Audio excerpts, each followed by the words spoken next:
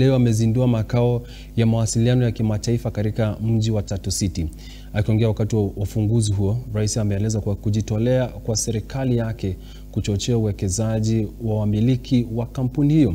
Aidha, rais amedokeza amepongeza makao hayo akisema kuwa yataimarisha uchumi bali na kubuni nafasi kwa kazi kwa mamia ya Wakenya.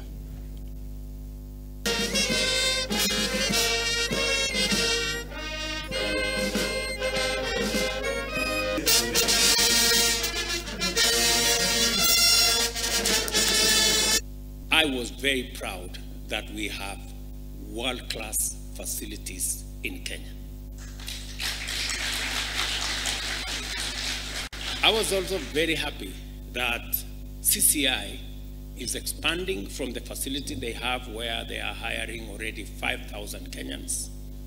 They have told me that this facility will hire an additional 5,000 Kenyans. And in fact, to his own words, that they want to triple their workforce in the short term.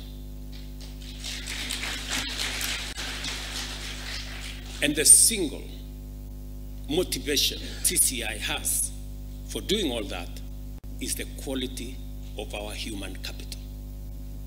It is not the size or the shape of the building, it is not how good the computers are, it is how good our human capital is. And we proudly want to share with the rest of the world, with many companies who are looking for good quality workers, we are happy to share our human capital with them.